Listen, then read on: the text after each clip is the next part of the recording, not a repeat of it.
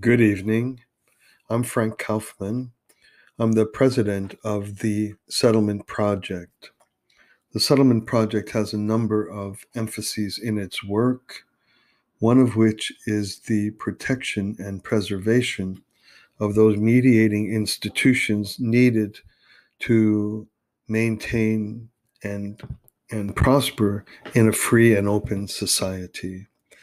Uh, these institutions include uh, such areas as media, education, corporate boards and corporate culture, big tech and social media, electoral politics, and political activism. All of these are free participa- participatory arenas of human striving that are required to be healthy and strong and clear and well guided in order for free and open societies to survive and to prosper. One of the most important of these institutions is family. Western free societies are constantly under assault and attack, both from foreign powers and from ideological forces that would seek to erode and diminish and undermine the bases for these institutions to function in a healthy and constructive way. In the arena of family, there is a very strong movement surrounding issues related to gender. There has arisen in recent times strong advocacy for the defense of gender fluidity and gender and transgenderism. Today we have with us a research scholar who has conducted a seven part series or has produced and published a seven part series on the medical and scientific roots of transgenderism. This is Dr. Jonathan Wells.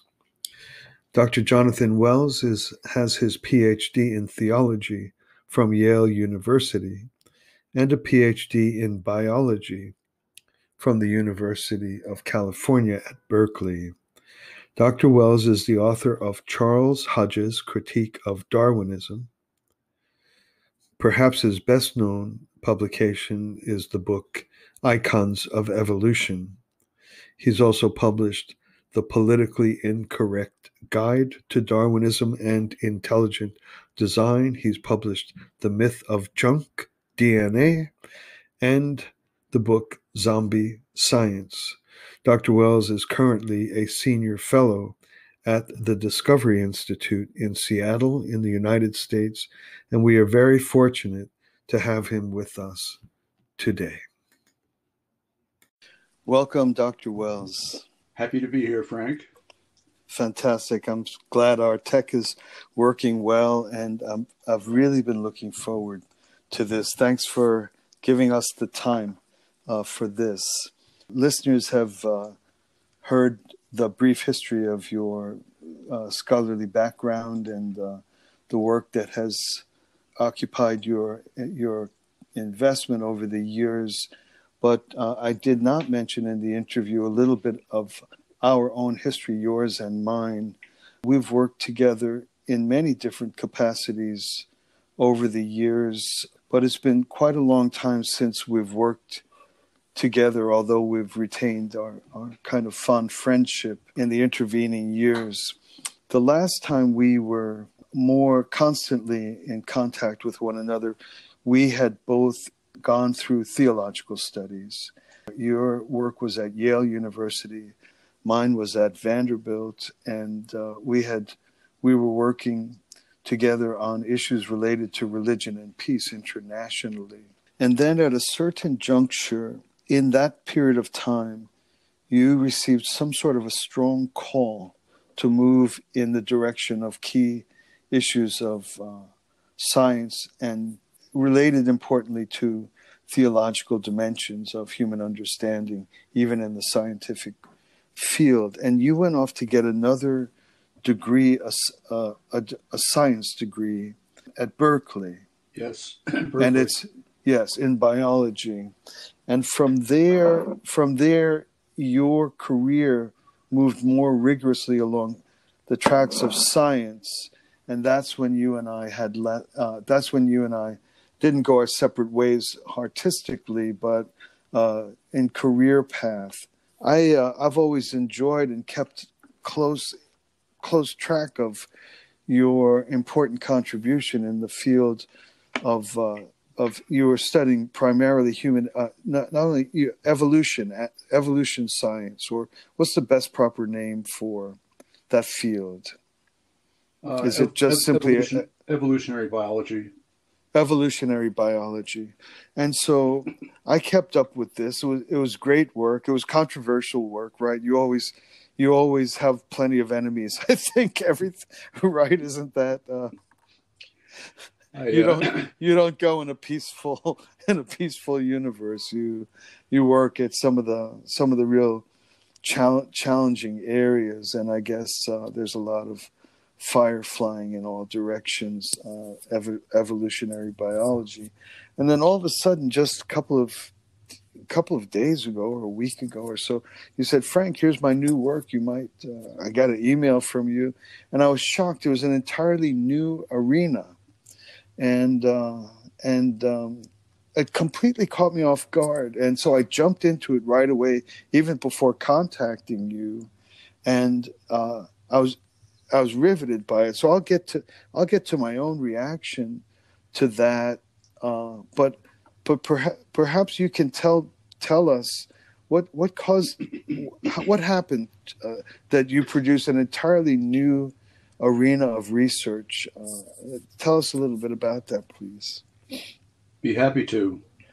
Uh, I received my PhD from Berkeley in 1995, and uh, since then, most of my work has been focused on embryology and evolution. But then uh, last October, October 2019, I read a newspaper article about a, a family in Texas uh, a court, the Texas court, had just awarded sole custody of a seven year old boy to his surrogate mother. His parents had divorced four years earlier.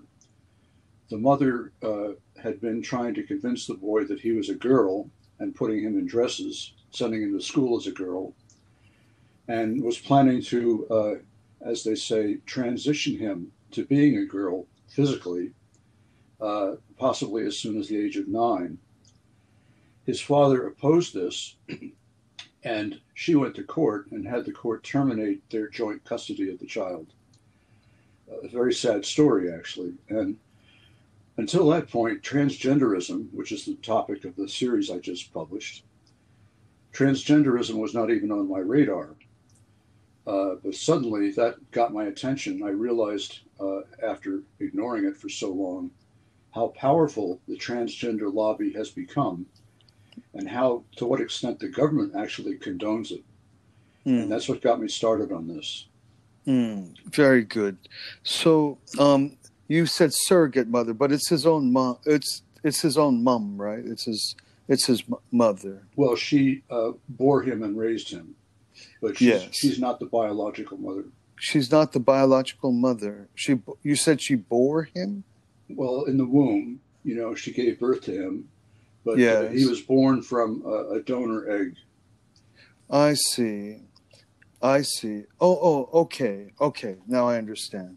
Okay, so so this was a this was a perfectly peaceful, happily married couple in Texas, and uh, they have fertility problems, and they go through the usual agonies, and and side by side they they uh, do all the challenging and difficult things. And as some might say, by God's grace, they're blessed with a child, uh, with a donor egg. She she bears this boy, and and then they're they're probably excited and happy that they have this young this baby that they never dreamt was possible maybe at times lost hope or whatever they have this boy and then you said by by what age did by what age did the mother come to hold that this that this young fella should be raised as a girl or become a girl? What age? I'm not sure. I do know that they divorced when the boy was three. Okay, okay. All right. And so and so when when you when you saw that the government that that she files for divorce and they give they give her custody of the boy, sole custody, so that the father's forbidden to be in this young fellow's life at all, or you didn't follow that part of it uh, closely? Well, it's my understanding that when they first divorced, they had joint custody. So the boy, oh, that's right. You said okay. The boy Carry spent on. part of his time with his father, and according to his father and others, when he was with his father, he lived very happily as a boy. Mm, but then mm. when he mm. went to live with his mother, she started convincing him very early on, trying to convince him that he was a girl, putting him in dresses, and uh, eventually sent him to school as a girl. Yes, and right, you write on this. You write on this uh, family in the sixth the the sixth of the seven part series. That's correct. Yes. Okay. Uh, very good. So, um, for the for the listeners, this is this is you. This will also you have it in the text. You can uh, click on the links. Uh, it's the site is called Evolution News and Science Today. Is that is correct, uh, Dr. Wells? That's correct. Okay, Evolution News and Science Today, and um, and there are a, a, great many there are a great many scientific areas on this page where uh, interested people can study about many different areas of science, uh, and then in uh, in there you can find what's called the transgenderism series. It's a seven part series uh, all produced by uh, Dr. Wells, with who who's with us today. Uh, at first, at first, I thought I was going to have a ton of reading to do, but but it's very it's very graciously plain, simple reading. It's not hard to get through. It's not. It doesn't have deep and difficult science. You've helped translate that for the layperson, so that we can access the issues uh, very quickly and very easily. So uh, after you ha- after you've heard this um, interview, everyone, please be sure to go read these. They're they're uh, each each of the seven part series is very easy to get through. It's quick to get through, and uh, and you will be well educated uh, in short order from this. So, uh, Dr. Wells, one of the things that I enjoyed or felt this this is gracious or fine or uh, I'm I'm immediately struck by before you even read a single word of your research and of your articles, there's something called author's note, and it's and it's the first words you read on every single one of uh, your entries, the seven part series, and uh, and I think it would be good for our listeners to hear this right up front if you wouldn't mind. I agree. so I'll just read it. It's not long. Mm. Uh, as as you said, every part starts with this. Nothing in this series is intended to disparage any transgender person, any gender nonconforming person, or any person attracted to members of the same sex. I write as a developmental biologist with a Berkeley PhD and I focus on evidence pertaining to transgender treatments for children. Wonderful, wonderful. It is. Uh, it's so. It's so fair, but it it is so true. You you you write in in simple, plain. There there's almost no advocacy in it. You're just presenting facts and research in the most compassionate and gentle way uh, there's no rant in it. There's no kind of wild-eyed um, uh, kind of rage against trends in society. It's just it's just a plain presentation of facts. And and even so, as I read it, uh, uh John, I was I was in pain the whole time. It, I was torn up the whole time. Uh, it just struck me that that that people with with transgender impulses or issues, or you call gender dysphoria, gender dysphoria. Um, they they struck me as the victims of a kind of rampant and aggressive community that claims to be acting on their behalf, but just seems I'm struck by a feeling of being the dire enemy of of these very people that need genuine care and understanding. It's it's almost in my reading I just felt these people these people who experience gender dysphoria so deserve the finest and and most uh, towering degrees of embrace, understanding, and and support, and yet, as I read the research, my feeling was that they're just instruments of an agenda. They're they're actually the victims of the very people that are regarded in society as their champions. I don't know if that's unfair, and perhaps as we speak, you can correct me if I'm wrong or or refine my sense. But with every line I read, my it was it was wrenching to me. My heart broke again and again, even though I'm just reading plain old everyday medical research and medical facts. So, uh, so we'll we'll move we'll get to this in a moment. I just wanted to give you an opportunity, if you care to, to just explain a little bit about uh, the the foundation from which your research uh, was, uh, who, for whom you write. I think you're a, a senior fellow uh, with the. Is it the Discovery Institute or? Yeah. Yes, that's correct. Okay, and do you do we need to say a word about what that is? Uh, I think it, it. I I noticed that there's a section on science and a section on culture. It seemed to me that there were six or seven areas of science, one of which is medicine, and that's where this transgenderism series was written in that in that sector. Is that correct? That's correct. Yeah. Uh, Discovery Institute is a a nonprofit uh, public policy organization in Seattle uh, with branches elsewhere in the country and the world. And uh, it's probably become most famous for its advocacy of what's called intelligent design in biology. Well, not just biology, but in science. Yes.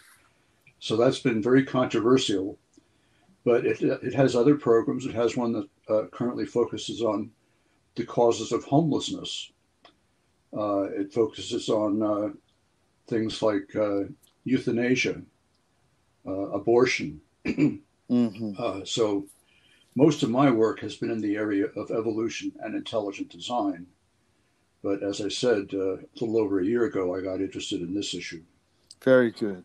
Very good. Okay, that's helpful for a little bit of context. As I read your work and your research in this seven part series, I, I was struck by the the feeling that a lot of medical and scientific policy begins begins with an impulse towards a compassionate a, a, a compassionate embrace of a minority community that is is easily easily kind of occupies an outcast uh, an outcast type of experience in society or in school or something like that.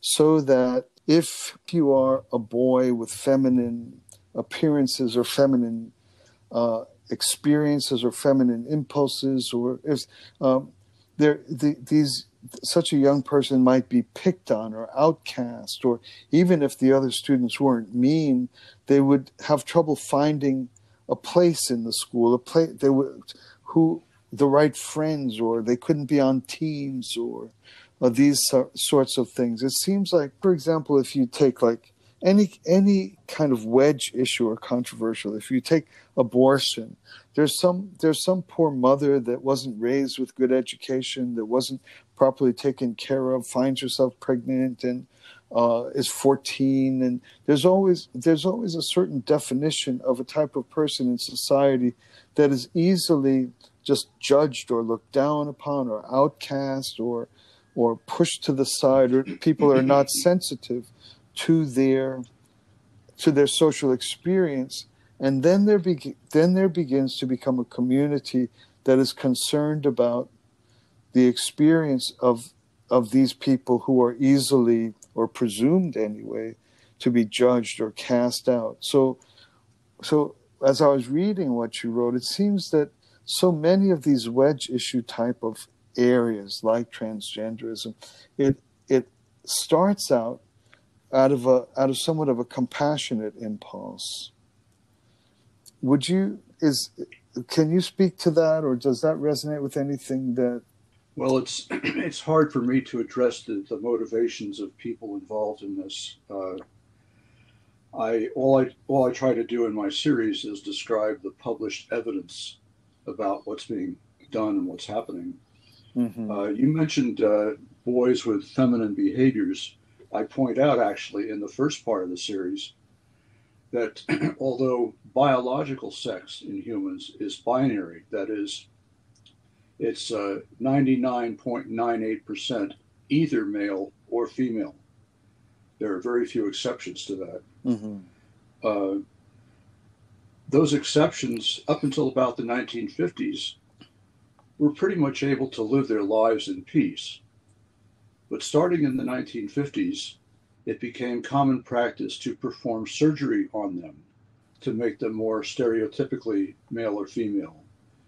In many cases, uh, for anatomical reasons, this meant uh, converting many baby boys into baby girls, at least externally. In part one of my series, I point out that that is now no longer thought to be wise. In fact, uh, three Surgeon Generals of the United States published in 2017 uh, a statement that such surgeries should not be performed. Uh, transgender people should be left alone. Uh, I'm sorry, not transgender. Uh, these are called intersex babies that are that they're born with ambiguous genitals. So their their male genitals might be abnormally small, or their female genitals might be very masculine, but they're still usually, in almost all cases, either male or female, and they don't need surgery to change them into one or the other. That's uh, that's in my first part. But behavior now, there's a, a, a spectrum of behaviors with boys and girls, uh, from the most masculine to the most feminine, and uh, quite a bit of overlap in behavior. So when I say that biological sex is binary, uh, that's not as true in the case of behavior. And you're quite right that uh, boys with feminine behaviors and girls with masculine behaviors should be protected rather than bullied. But that's different from being transgender or having gender dysphoria. With gender dysphoria, the child actually wants to be or thinks he or she is a member of the other sex. And that's quite a distinct phenomenon and that's mostly what my series focuses on. Okay, thank you. So, gender dysphoria is that one one want one believes one wants to be or believes they are different than their biological gender. That they they they want to be of the sex or the or the gender other than their biological gender. Is that is that what's called gender dysphoria? Yeah, I can actually read you the uh, official definition. It's very mm-hmm. short. So, in uh, what's called the Diagnostic and Statistical Manual of Mental Disorders, uh, published by psychiatrists, gender dysphoria in children is, and this is a quote, a marked incongruence between one's experienced or expressed gender and assigned gender, which means biological sex in code, uh, of at least six months' duration. It's accompanied by a strong desire to be of the other gender or an insistence that one is the other gender. And the condition is associated with clinically, clinically significant distress or impairment. Uh, so that's gender dysphoria. Now, the use of assigned gender here mm-hmm. is due mainly to the work of John Money, psychiatrist or sexologist, not psychiatrist, psychologist, John Money in the 1950s. It was Money who uh, most prominently advocated the idea that gender and sex are different. And he advocated, although he was not a surgeon himself, he was a strong influence in the tendency to perform surgeries on intersex babies. So assigned sex or assigned gender really means biological sex, which, as I said before, is unambiguous in 99.98% of human babies. And so John Money is is picking this tiny, tiny percentage of human beings that are called intersex. Inter- yes. In which in which the biological sex is not uh, not radically or 100% unambiguous. It's there's some ambiguity. It could but it's not utterly it's not utterly amb- ambiguous but there's some ambiguity in the in the sexual features of the baby. Yes. Uh, now there are rare true hermaphrodites that is babies who have uh, tissue of both male and female. Uh, that is a testicle and, and an ovary or mm, something like mm, that. Mm. That's very rare. Most uh, children with ambiguous genitalia uh, come close to falling in the main categories of male and female. Okay. And so, how was it that a single individual would have such a radical impact on global society that suddenly something as radical as surgery suddenly starts to become more abundant or more frequent how how does how does that happen that or or, or have you have you attempted to understand what what were the what were the um, factors which moved society toward this direction direction where suddenly that becomes a more frequent consideration, a more frequent practice? Well, that's a good question, but I don't think I have the answer. I mean, I, I lived through the 50s and 60s and 70s. I watched the so called sexual revolution unfold. And uh, I'm not sure I can explain everything about it, but uh, Money's ideas uh, became part of that. So it was a larger cultural shift uh, that embraced his ideas uh, until very, very recently. Yes. Now, I'm a little bit worried that my own orientation is not fair to your rigors as a research biologist because one of my next questions was that when I see these types of matters, what I call wedge issues that have a scientific dimension to them, in which suddenly the capacity to converse dispassionately is out the window and people are doing all sorts of raving uh, fury at one another. It, it seems to me that, that, the, that the boundary line, and again, I'm afraid I may, I may be stepping outside of the arena of which you've researched and written, but it seems like the boundary line is materialism whether or not what like if the if the human being is is a collection of of manipulable matter then then the approach to then the approach to affairs of gender reproduction etc etc takes on a very mechanical posture or orientation so that so that in the in the abortion debate it's a lump of tissue or something like that. Um, and it be, it's almost like it, it, it's re, one removes it because one can that medicine has advanced to the extent that one can do these things. As you said that prior to the 50s the the t- infinitesimally small number of cases in which there was uh, uh, intersex you said that they went on to be able to live their lives in peace. It's almost it's almost as though these issues arise and take cultural root and so- social and, and legislative root simply because of the of the sheer just mechanical capacity. Do this to my car because simply because I can. That technology has advanced to this degree that I'm able to organize matter in such a way that I, I can.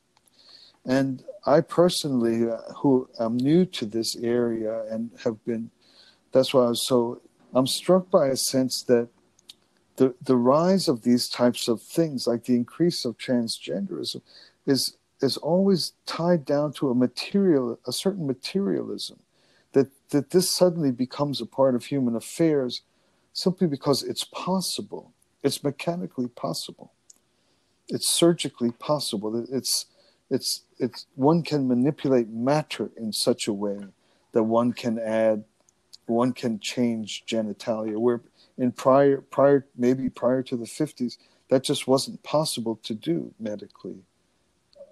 Can, can you speak to this or am i outside of again outside of your just the rigors of your research?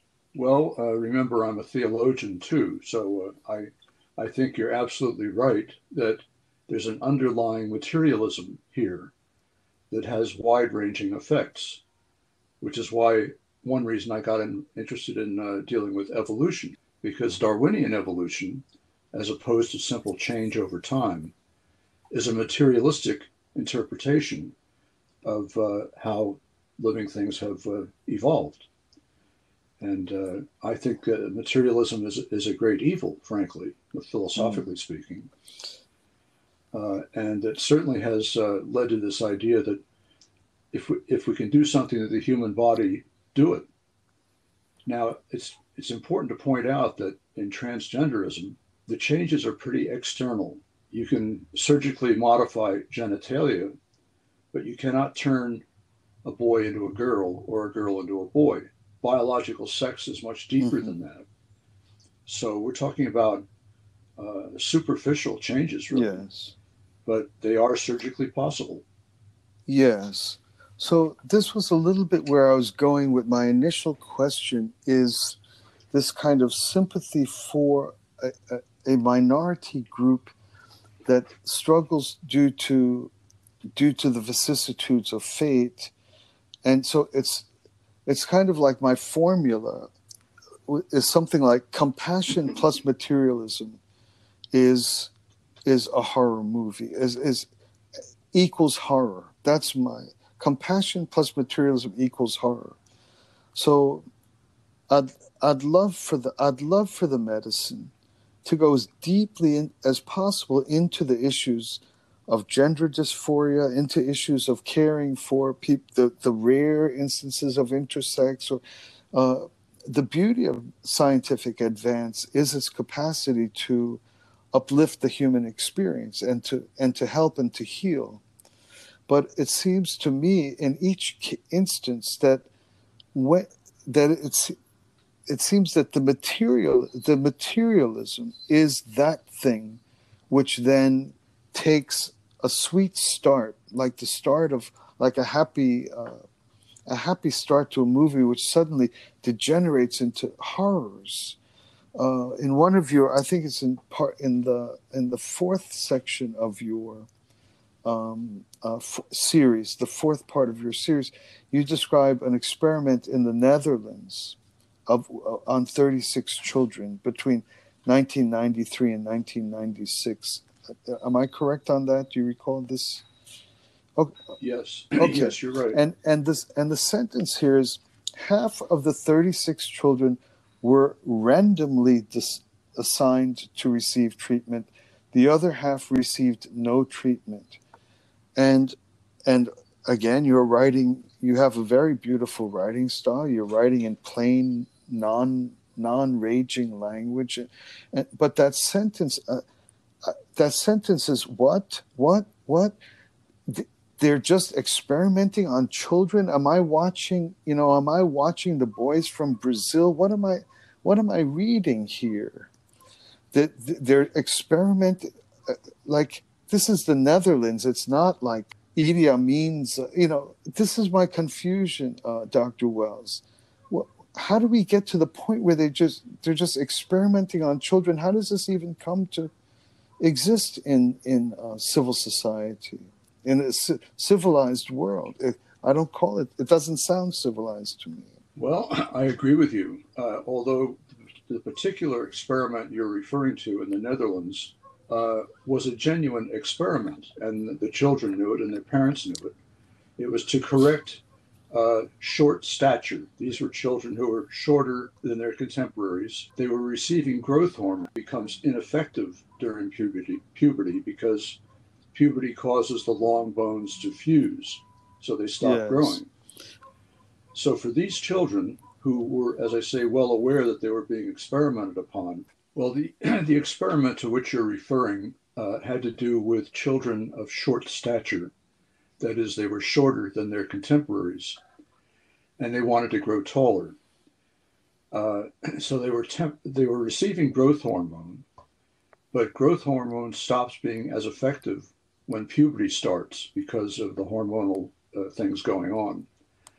So these children, uh, as you say, randomly chosen half, were put on what's called a puberty blocker. That's a drug that stops puberty. Uh, and my point in that particular part, where I describe the experiment, is that for these children who are very young, uh, the puberty blockers were used for a short period of time to see if they could help the, the growth hormone. And then the puberty block blockers were stopped. Yes. The children returned to normal puberty and uh, they gained a little bit of height, not enough to make the trouble worth it. I see. But uh, they they were fully aware that the experiment was going to end that they, they were going to continue on to become normal adults. Okay. So. The mm, problem the problem with tran- transgenderism is that the puberty blockers are not used uh, for a short period, and they, in almost every case, lead to long-term, irreversible changes like hormonal and sexual uh, surgical changes. yes. So this this experiment was quite different in that Okay. sense. Okay, I understand. Because later on in one of one part of your series, you you describe a four part, four stage process that eventually leads to sex change, correct? And the, the second Yes. one is the use of puberty blockers. Yes, this is called the Dutch Protocol. Uh, uh, just like this experiment on short stature, uh, the Netherlands has been the center, in a sense, for uh, transgenderism. And the Dutch Protocol, which is uh, has become the standard uh, treatment, actually, in many places for children with gender dysphoria, involves four steps. The first step is social transitioning. That is, before puberty, usually, the child is allowed to live as though he or she were a member of the other sex. Then, at the very beginning of puberty, the child is put on a puberty blocker to stop the effects of puberty, uh, namely, uh, you know, all the things that happen to a, a, normal child in the course of puberty. Then, at uh, 16, the child who is no longer producing normal hormones is given cross sex hormones. Boys are given estrogen, girls are given testosterone. And two years after that, at 18, if the child or if the person wants to continue on all the way, they can receive sex change surgery. Yes. Yes. And and part of and part of your research is indicating that puberty blockers in the in the short term is is still a reversible stage in what you call the Dutch protocol, this four part, four step.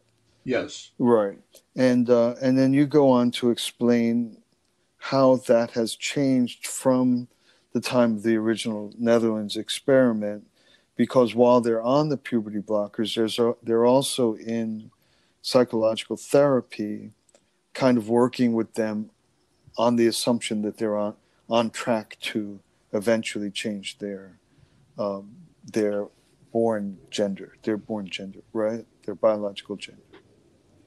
Yes. Uh, now, none of the children in the uh, short stature study uh, had gender dysphoria. They, they all wanted to grow up in the body that they were born with. Yes.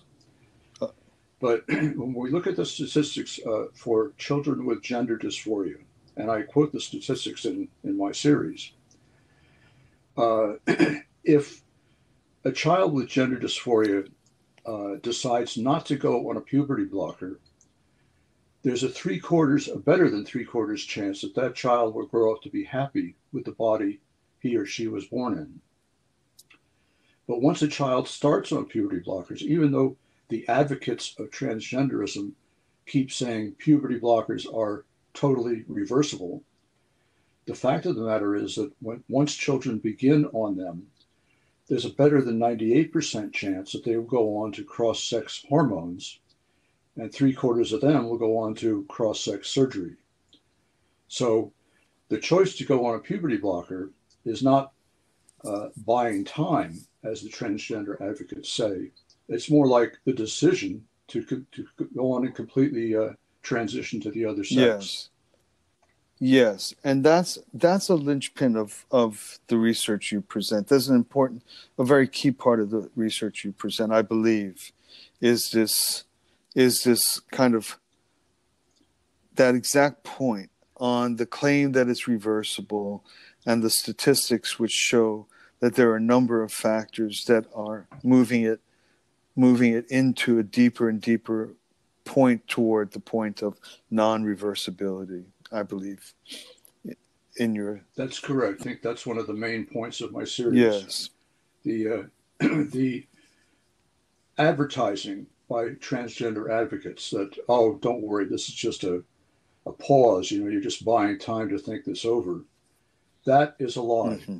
very good. Um dr wells again as I look at this, it seems to me that in so many of these kinds of cases which move toward things that are kind of break norms and kind of undermine traditional roles which are the kind of cornerstone of social life and, and family life oftentimes it seems like there's a particular individual that after t- after time is shown that the individual had had ma- massive kinds of perversions and sicknesses and and they have positions that that their heirs like if you say transgender advocates would would excoriate in anybody else and yet they sit peacefully they sit peacefully on the kind of perch of heroism or founder status um,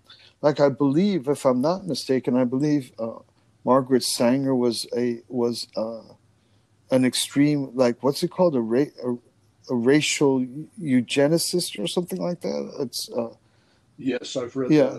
Um, and then there's also uh, the, these two sexologists, Kinney and uh, uh, Kin- Kinsey. Kinsey. and there were two, right? Uh, Kinsey's the one I remember yeah. the most, but uh, John Money was uh, a follower of Kinsey. Okay, and so I was reading Money, who whom you described as um, as uh, one of the one of the seminal figures in the arising of this trend of of first uh, the, the, surgery on intersex babies, and then maybe laying at the foundations of being one of the founders or ins- inspirations. Uh, when I was reading about the work of John Money on this uh, these twins, right?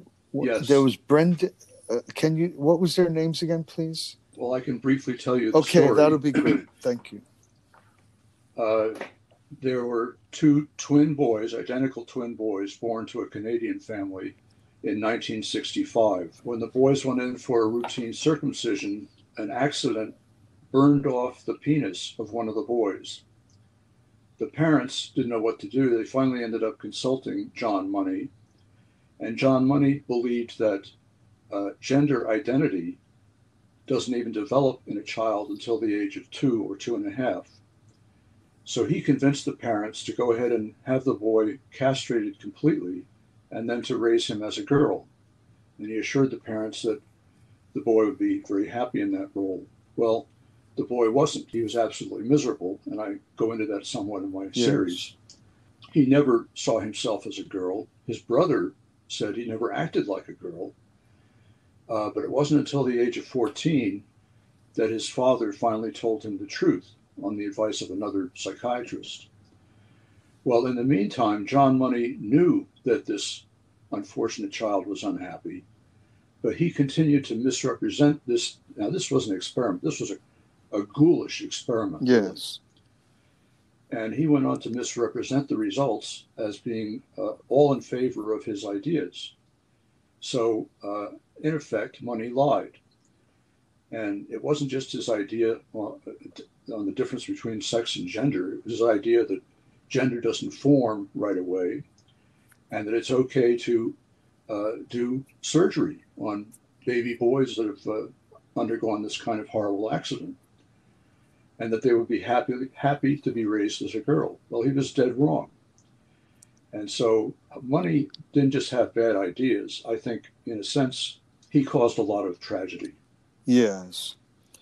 And in in your section or chapter on money, there's there's some account of the, of the types of things that went on during those therapy sessions when the children were entrusted in his care and left alone with him that were that were horrific in fact in terms of of just the of just the sheer abuse of these children. That's correct. He he uh, he saw this as an ideal experiment because because the it involved identical twin boys or at least one he now said was a girl yes. but he was able to compare their behaviors and uh, when they were left alone with him in his office according to the boys later in, in later years, he would show them pornographic pictures and even have them stripped naked and uh, perform simulated sex acts. Uh, and this is with boys be- below the age of yes. 10. Yeah, this was this was uh, in that in that chapter. I forget which one it was, which of the seven, but it, well, actually, chapters uh, two and three are about okay, money.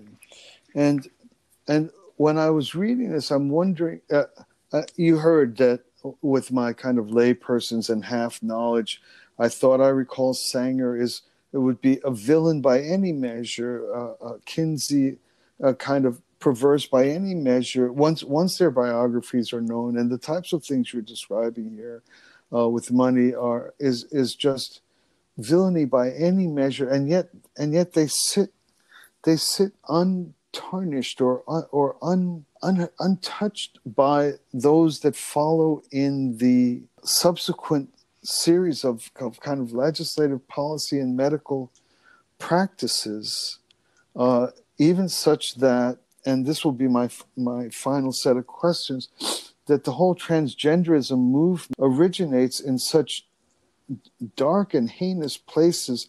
And uh, i know you don't have an answer for this but i wonder i wonder why that's never i wonder why that's a safe place for the work for such horrible people that they don't that they they last so long untouched. And uh, whereas you know if a if a uh, you know if a, a priest accidentally you know got caught with a playboy magazine uh, that that's the greatest news ever. And then you have these kind of people that remain in kind of in hero status. And um, it's just something i was curious and i i know it's not an answer you have but i did want to raise it and see if there's even a thought you have on uh, this kind of matter? Well money's misbehavior has been exposed in various books and articles. Yes. Uh, but it's I think it's the same phenomenon we see in the case of, uh, say, uh, Lenin or Stalin or Castro. Uh, you know, the truth is that they were horrible villains, but their the luster attached to them by the materialist left, political left, uh, keeps their false memory alive. Mm. And I think that's true in the case of John Money as mm. well. Mm. Yes. Yes. Well, thank you. Uh, the the final thing I wanted, and you know, I could, uh, I wish I, I wish I had uh, been a better partner uh, for you. I hope you've felt that you've had a chance to get a lot of your uh, research expressed here. Um, I guess I was coming at it more from a social or cultural reaction to it as a as a non-scientist, but I'm grateful for your clarity. Um, the final thing that I'd like to do is that do you can you give the listeners what would be a kind of an ideal or happy direction we could start to move or given this this tiny number of people that or kind of the growth of gender dysphoria uh, gender dysphoria do you do you feel that this is the fruits of the growing welcome of it or encouragement of it? Or do you think it's been a thing that people have had but haven't had a chance uh, to they were they were suppressed or weren't society never allowed such a thing? Or can, what what's a healthy way for us to think about this phenomenon that you know we don't want to just hate people we want to just be against things. And uh, if there's a word for what would be what would be a a healthy way for us to wish things were this way uh, given given the types of issues we've discussed here? Well i'm a great believer in light overcoming darkness.